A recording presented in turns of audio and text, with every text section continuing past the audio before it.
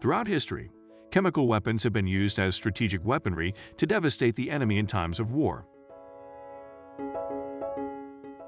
After the mass destruction created by World War I and World War II, chemical weapons have been considered to be inhumane by most nations, and governments and organizations have undertaken to locate and destroy existing chemical weapons.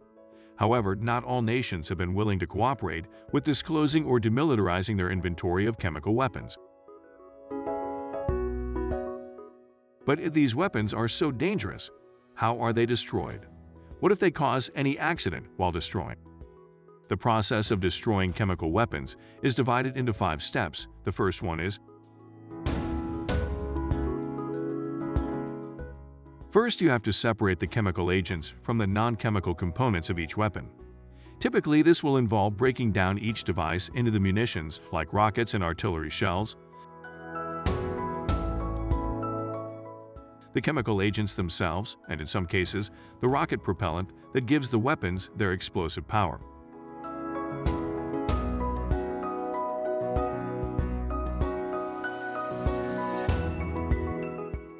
The chemical agents will be drained from the munitions that contain them, a process conducted primarily by specially designed robots, typically and ideally as part of an assembly line setup.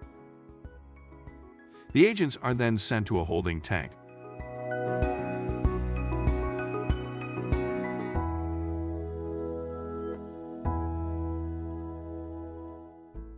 The active chemical agents, having been isolated, are then destroyed possible methods for this depending on the composition of the weapons themselves and on the setting of the destruction.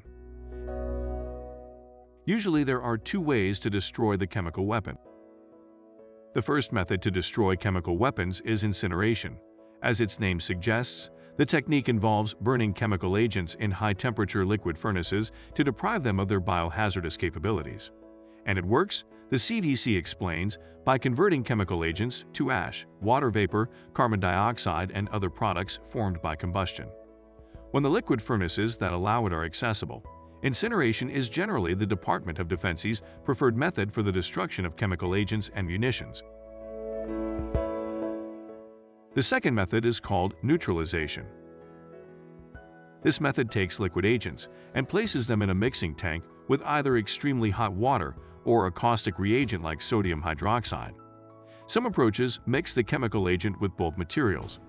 The reaction that results from this, chemical hydrolysis, destroys the toxicity of the agent.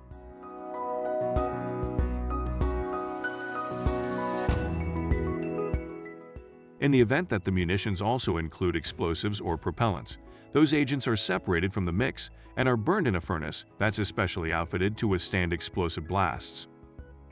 The furnace is known as a bang box.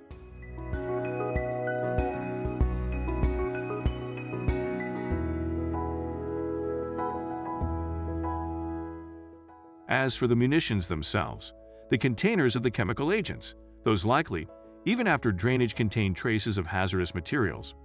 Incineration technology can be used to treat empty casings, thereby destroying any residual chemical agents, and for that matter, any residue of their breakdown which may also be hazardous. Typically, artillery shells and similar weapons casings are sent to furnaces that are specially designed for metal parts. So, that is the process of destroying chemical weapons. If you find this video informative, like this video and subscribe to our channel.